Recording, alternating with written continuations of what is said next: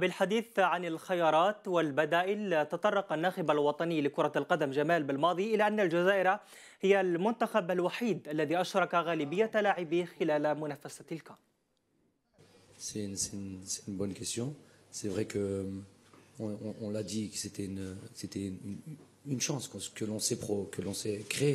De pouvoir euh, faire tourner l'effectif. On est la seule la seule équipe réellement qui a pu euh, qui a pu faire changer comme ça euh, d'un match à un autre quasiment toute l'équipe. Donc euh, il est sûr que, que, ça, que ça va jouer dans, dans sur les organismes.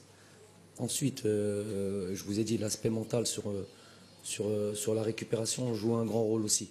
C'est pas, pas juste l'aspect physique.